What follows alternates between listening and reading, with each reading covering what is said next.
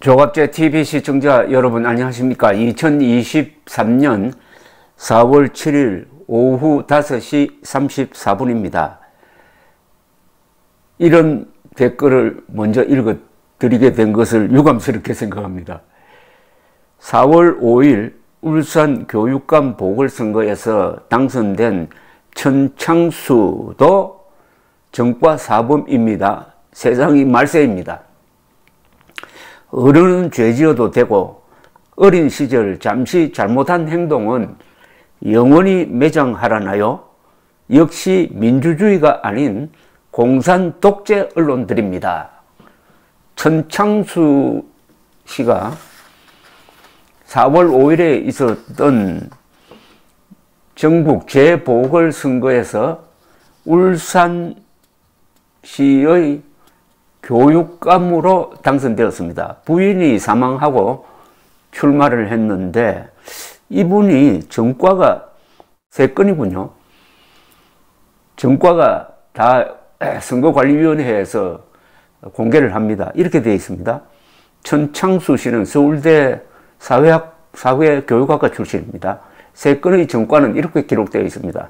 첫째, 1989년 국가보안법 위반과 노동쟁의 조정법 위반으로 징역 1년에 집행유예 2년 자격정지 1년. 두 번째 전과 2001년 업무방해로 300만원 벌금. 바로 그 다음에 2002년 업무방해 폭력행위 등 처벌에 관한 법률 위반 및 집회 시위에 관한 법률 위반으로 벌금 500만원 이렇게 해서 전과 3범입니다. 4부분 아니고. 근데 이분이 선거기간 중에 이게 문제가 되니까 사과를 하지 않았어요. 사회적 약자를 위해서 투쟁하다가 생긴 전과이므로 자랑스럽게 생각한다고 했습니다. 자랑스럽게. 즉, 법을 인정하지 않는다는 거죠. 사회적 약자가 누군지 자기가 멋대로 멋대로 결정을 해가지고 나는 사회적 약자, 노동자는 사회적 약자이니까 사회적 약자를 살리기 위해서는 법을 무시해도 된다. 이렇게 되면은 대한민국이 존재할 수 있습니까? 법치가 무너질 것 아닙니까? 그런데 하필 울산입니다. 더구나 교육감입니다. 교육감은 정과 이런 부분에 대해서 국회의원보다도 더 깨끗해야 되죠. 교육하는 사람 아닙니까? 그런데 교육의 민주주의 국가에서 교육의 첫째는 법을 지키라는 겁니다. 법을 지켜야 된다. 준법 정신 가르치는, 가르치는 게 제일 중요한데 정과 3범에다가 자신의 정과를 자랑스럽게 생각하는 사람 그러면 불법을 가르칠 것 아닙니까? 문제는 황영웅을 잡고 있는 이 언론이 이 문제에 대해서 단 하나의 언론도 문제 제기를 하지 않고 있다는 사실입니다. 오늘 아침에 소개해드린 전주에서 이번에 보궐선거에서 당선된 강성희 시인은 사회주의 혁명 노선을 추종하는데 그것도 하필 북한식 사회주의 혁명 노선을 추정한, 추종한다고 그래가지고 헌법재판소에 의해서 역사상 처음으로 정당 해산이 된 통합진보당의 후신, 진보당 출신입니다. 그런데 정과가 다섯 개예요, 이 사람은. 그런데 또 당선이 되었습니다. 당선돼가지고 국방위에 소속될 가능성이 높다고 그러네요. 국방위는 북한 노동당 정권과 맞서서 싸우는 국군을 지원하는 위원회인데 거기에 북한 노동당 정권과 같은 노선을 걸었다 해가지고 해산된 정당의 후신 정당 진보당 출신 그것도 정과가 다섯 개나 있는 사람이 배치되는 게 이게 정상입니까? 더 끔찍스러운 것은 한국 언론이 정과 한 번 그것도 7년 전에 합의가 되고 50만 원 벌금을 다 물고 나와가지고 지금 반성한다고 불타는 트롯맨 결승전을 앞두고 6억 원 상금을 버리고 지금 물러나서 칩거 상태의 황영웅은 계속 비판하면서 정과 5범이 국회의원이 되고 정과 3범이 울산에서 교육감이 된 데 대해서는 한마디도 하지 않습니다. 그러니까 지금 금방 소개해드린 이분 말씀대로 세상이 말세입니다. 어른은 죄 지어도 되고 어린 시절 잠시 잘못한 행동은 영원히 매장하라니요. 역시 민주주의가 아닌 공산 독재 언론들입니다. 이게 과장이라고 보십니까?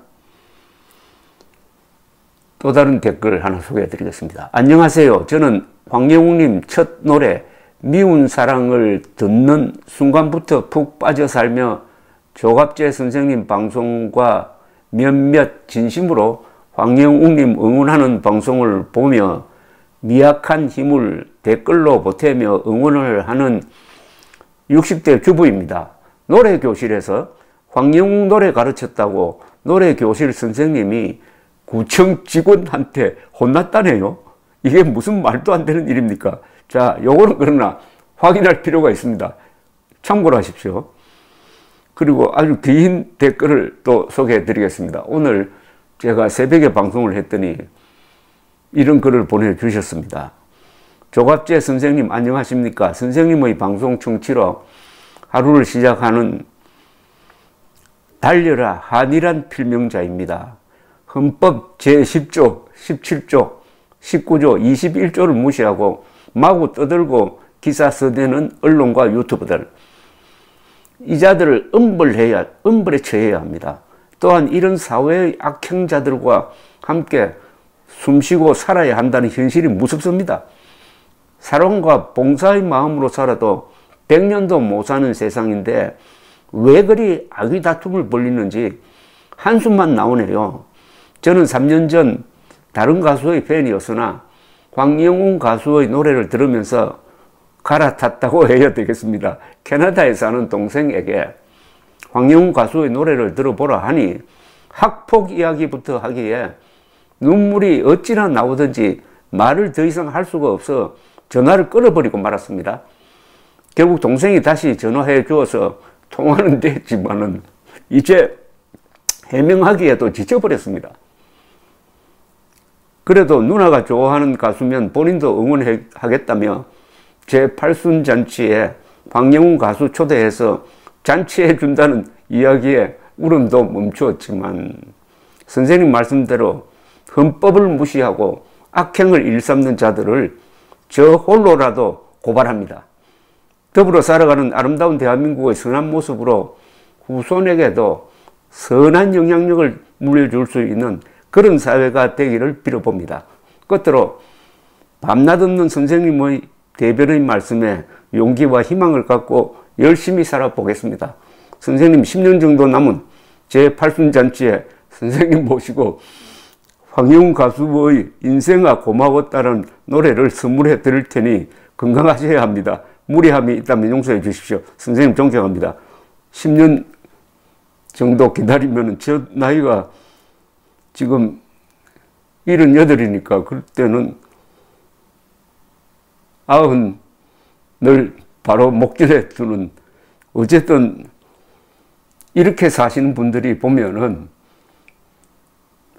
정과 5범은 국회의원이 되고 정과 3범은 교육감이 되고 정과 한 번 했는데 뉘우친 사람은 지금 온 언론이 진 이기는 대상이 되었다. 그럼 이 차이는 뭐냐? 앞에 든 두 사람, 그 교육감과 국회의원은 좌파입니다. 좌파.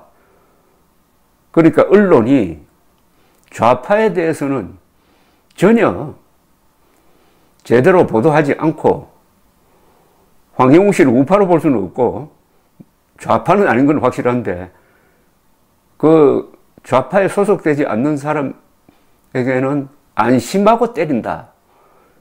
그러니까 어느 한 분 말씀대로 이게 공산 독재 정권의 하수인인 언론이 아니냐라고 말씀하셨는데 그건 아주 전곡을 찌른 겁니다. 지금 한국 사회에서 기자라는 가면을 쓰고 선동질하고 가짜뉴스 만들고 거짓말하는 자들의 성향을 보면은 좌익적 성향이 강합니다. 좌익이라고 하면 공산주의, 사회주의, 자기들은 진보라고 그래요. 이런 식으로 분류할 수가 있는데 어쨌든 이 세력은 대한민국을 부정합니다. 그리고 대한민국의 3대 가치인 사실도 무시합니다. 정의를 무너뜨립니다. 그리고 자유를 속박하는 자들입니다. 이 황영웅 사태는 그 뒤를 들여다보면은 그렇게 간단치가 않다 이겁니다. 선동의 구조, 황영웅을 잡고 있고 정과 3번 교육감을 만들어내고 정과 5번 국회의원을 만들어내는 이 무시무시한 한국의 선동의 머신, 기구가 있다는 이야기입니다. 곽, 곽이란 분이 이렇게 썼어요. 6.25 때 북괴 인민군 남침으로 제일 많이 민간인이 학살을 당한 지역이 전북 쪽으로 알고 있는데 아이러니하다.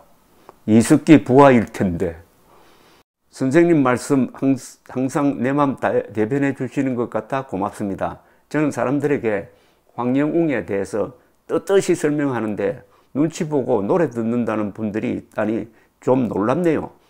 황영웅 노래 듣는 게 잘못은 아니잖아요. 어느 기자, 저 사람 처벌받고 고개 숙이게 해야 하는 게 팬들의 일이네요. 이분은 용감한 사람입니다. 정과 오범인 국회의원 당선자는 모르쇠로 일관하고 아무 힘이 없는 황영웅 가수는 만만하니까 두들겨 패고 대한민국 헌법이 헌법에 이르라고 나와 있지도 않거늘 어찌 한나라 국민으로서 들이대는 잣대가 이리도 맘대로인지요. 황영웅 가수에 대해서 기사나 방송하는 사람들은 선생님 말씀대로 헌법 전문을 머릿속에 새기며 기사를 써야 정당할 것 같습니다. 솔향이란 분은 세상이 미쳐도 단단히 미쳤습니다. 정과 사범이 당대표하고 정과 5범이 국회의원 하는 세상인데도 내 편이면서 힘있는 자들에겐 아무리 범죄 사실이 있어도 덮어주고 일개 시민은 사소한 논란거리를 이슈화해서 아무것도 못하게 물고 뜯는 세상 하루빨리 만인에게 평등한 언론개혁이 필요합니다. 조갑재 선생님의 속 시원한 방송이 언론개혁의 주춧돌이 됐으면 합니다. 또 다른 분입니다. 선생님 항상 좋은 말씀 감사드립니다. 저는 당당하게 황영웅님 팬이라고 말하고 다니고 공카에도 가입했다고 말하고 다닙니다. 공카라고 있는 모양이죠. 이런 천재 가수는 없다고 없다고 당당하게 말합니다.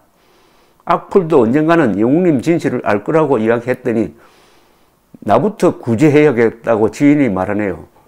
그 사람이 그렇게 생각하든 말든 그 사람도 영웅님 진실을 곧 알게 되겠죠. 저는 누가 뭐라든 천재 가수 황영웅님이 최고라고 끝까지 응원합니다. 세계적으로 이름 날리는 가왕으로 말입니다. 오늘도 감사드립니다. 이렇게 용감한 사람이 있습니다. 헌법 제10조는 국가는 개인의 기본적 인권을 존중하고 보장해야 한다. 그것은 불가침이다. 라고 선언을 했습니다. 헌법 제19는 모든 국민은 양심의 자유를 가진다. 헌법 제21조는 모든 국민은 표현의 자유를 가진다. 따라서 황영웅 들어 당신 반성하라고 하든지 자숙하라고 하든지 노래 부르지 말라고 하면은 헌법 10조, 17조, 19조, 21조를 다 위반한다는 겁니다. 헌법으로 무장하면은 사람이 강해집니다. 저절로 용감해집니다. 감사합니다.